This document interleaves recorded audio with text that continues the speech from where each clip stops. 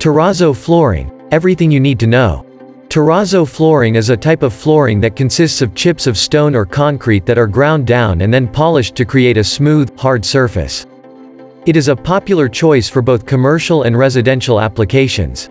Terrazzo is easy to clean and maintain, and it can last for many years with proper care. It is also a very versatile material and can be used in a variety of ways to create unique looks.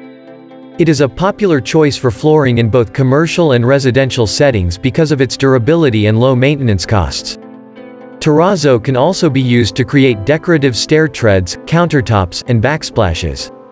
Terrazzo Flooring Guide Terrazzo flooring is a type of flooring that is made from pieces of marble, glass or other materials that are embedded in a cement or epoxy base.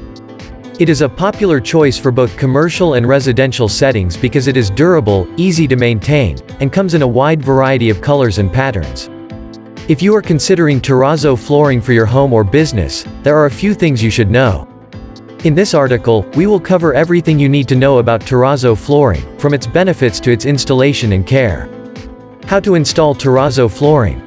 Different thicknesses of terrazzo floors are possible. Therefore, if you are typically constructing a 40 mm thick floor, perform these steps. Terrazzo flooring is set on a concrete subfloor. Moisture must be kept out of the concrete for the flooring to last, so make sure it does. A 6 mm layer of terrazzo topping would be placed on top of a 34 mm concrete layer, which would then be covered with marble chips or any other type of stone chips. A 1, 2, 4 ratio should be used to mix the concrete. Then, after spreading the concrete layer and covering it with terrazzo stone chips, tamping, and rolling the surface, allow it to dry for approximately 18 hours. It needs to heal for a few days. Using carborundum stones, you must hone the surface. Recure the surface after filling the grout. Apply an oxalic acid solution to the surface following the third round of grinding. Terrazzo flooring must be polished as the last stage. Advantages of terrazzo flooring. Some of the pros of terrazzo flooring are as follows. Durable. Terrazzo flooring has the advantage of only requiring installation once in a lifetime. It may appear brand new with only a little polish. If you don't let moisture leak in during the installation stage, they won't chip or break.